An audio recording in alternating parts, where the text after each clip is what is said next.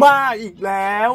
ธนาคารออมสินปล่อยเงินกู้สินเชื่อ 50,000 บาท ดอกเบี้ยต่ำ เอาใจมนุษย์เงินเดือน อาชีพอิสระ เมื่อวานนี้ 4 สิงหาคม ผู้อำนวยการธนาคารออมสินกล่าวว่า โครงการสินเชื่อพิเศษเพื่อส่งเสริมสภาพคล่องในการดำรงชีวิตแก่ประชาชน ที่ได้รับผลกระทบจากโควิด ได้สนับสนุนสินเชื่อวงเงินรวม 20,000 ล้านบาทสำหรับผู้มีรายได้ประจำ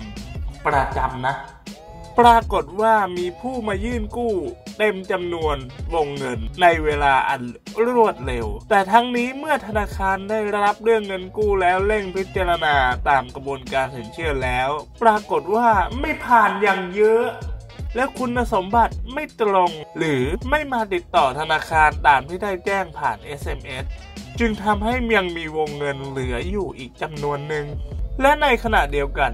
ก็ยังมีผู้ที่ได้รับผลกระทบยื่นกู้อีกจำนวนมาก ธนาคารออมสินจึงเปิดให้บริการสินเชื่อนี้อีกครั้ง พร้อมทั้งอำนวยความสะดวก ด้วยการเปิดให้ยื่นเรื่องผ่านเว็บไซต์ ธนาคารออมสินมาแล้วนะครับ เว็บไซต์ธนาคารออมสิน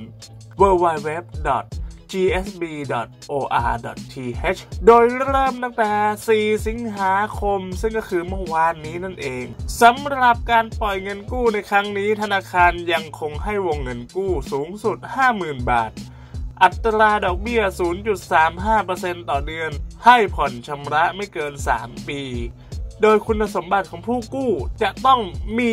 รายได้ประจำ เช่น พนักงานบริษัทในอุตสาหกรรมท่องเที่ยว หรือธุรกิจบริการ และอุตสาหกรรมที่เกี่ยวข้องที่ได้รับผลกระทบอย่างเช่นการตกงานถูกลดเงินเดือนขาดรายได้เป็นต้นโดยสามารถใช้บุคคลหรือหลักทรัพย์ค้ำประกันได้เพียงมีอายุ 20 ปีขึ้นไปสัญชาติไทย และมีถิ่นที่อยู่อาศัยแน่นอนสามารถติดต่อได้ มีเอกสารทางการเงิน เป็นรายงานการใช้จ่ายเงินเดือน สลิปเงินเดือน 1 เดือนล่าสุด ทั้งผู้กู้และผู้ค้ำประกัน หรือใช้เอกสารการเดินบัญชีสเตทเมนต์ย้อนหลัง 3 เดือนเท่านั้นนะครับ ก็ในเมื่อการแพร่ระบาดจากไวรัสโควิด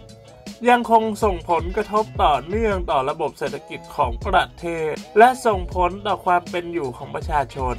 ธนาคารจึงหวังอย่างยิ่งว่า จะช่วยประชาชนด้วยสินเชื่อนี้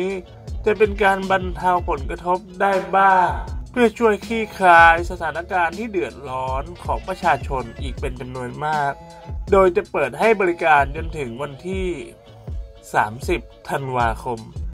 2563 นี้นะครับ ช่องทางการลงทะเบียนออนไลน์นะครับ ก็ www.gsb.or.th นะครับ ยังไงเพื่อนๆนะครับที่ได้ฟังที่ได้ดูคลิปนี้แล้วนะครับ ถ้าเกิดยังอยากได้สินเชื่ออยู่ ยังอยากลองกู้อยู่นะครับ ก็ลองเข้าไปดูนะครับ คิดว่าเอกสารการกู้หรือการทำให้มันผ่านได้เนี่ยก็คงไม่ยากเกินไปนะครับสำหรับคนที่ต้องการจริงๆนะยังไงสำหรับคลิปนี้ก็ขอลาไปก่อนนะครับ มีข่าวสารมาก็เอามาอัปเดตกัน สวัสดีครับ